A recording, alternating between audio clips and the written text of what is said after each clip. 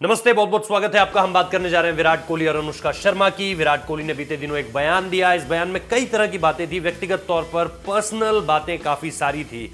उन्होंने डिप्रेशन को लेकर बात की कि कैसे आज से सात आठ साल पहले तकरीबन वो एक ऐसी स्थिति में चले गए थे जिसे हम कहते हैं कि भैया एक डिप्रेशन वाली स्टेज होती है और वहाँ पहुंचकर कहीं ना कहीं आप अपनी एबिलिटीज़ पे शक करने लगते हो। तो विराट कोहली ने इस बात को एक्सेप्ट किया कि आ, मैं डाउट करने लगा था और वो अवसाद का एक दौर था मेरे लिए। यानी हिंदी में अवसाद कहते हैं अंग्रेज़ी में डिप्रेशन कहते हैं। तो उस तरह की चीज़ों ने उस वक्त विराट कोहली को घेर लिया था। शायद ये वो दौर भी हो सकता है जब 2014 में वो इंग्लैंड में पूरी तरह से फेल हो गए थे टेस्ट सीरीज़ में और फिर पूरी दुनिया ये कह रही थी कि यार ये बड़ा बैट्समैन नहीं है। क्यों? क्योंकि इसने इंग्लैंड में रन नहीं बनाए। हालाँकि उसके बाद जो उन्होंने 2018 में किया, वो ऐतिहासिक था। उन्होंने रन भी बनाए एंडरसन के खिलाफ भी रन बनाए और कमाल करते हुए वो नज़र आए। तो इन सारी चीज़ों के बीच उन्होंने जो अब अपनी वाइफ यानी बेटर हाफ़ अनुष्का शर्मा को लेकर के उन्होंने बहुत बड़ा स्टेटमेंट दिया है।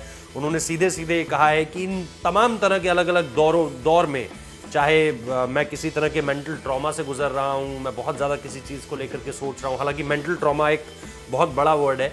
लेकिन वो किसी भी तरह की अगर अवसाद की स्थिति में भी थे, या किसी तरह की नेगेटिव माइंडसेट की स्थिति में भी थे, या कहीं अपनी एबिलिटीज़ पे डाउट था तो वहाँ से जो एक शख्स उन्हें खींच कर लाया, वो थी उनकी पत्नी अनुष्का शर्मा, और उनका उन्होंने बहुत ज़्यादा उनके बारे में उन्होंने बहुत ज़्यादा कहा है उनको लेकर के उन्होंने बहुत ज़्यादा कहा है कि अगर वो नहीं होती तो आज मैं इस स्थिति पे यहाँ पर मौजूद नहीं होता।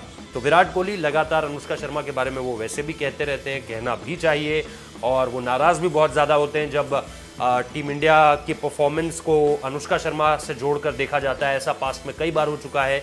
लेकिन विराट कोहली हमेशा से यही मानते आए हैं कि उनकी परफॉर्मेंस अगर आज इतनी बेटर है तो उसके पीछे एक बहुत बड़ा और अहम योगदान अनुष्का शर्मा का भी है। आप किस तरह से देखते हैं इसे? ज़रूर कमेंट कर हमें बताइए। बहुत बहुत शुक्रिया इस वीडियो को देखने के लिए।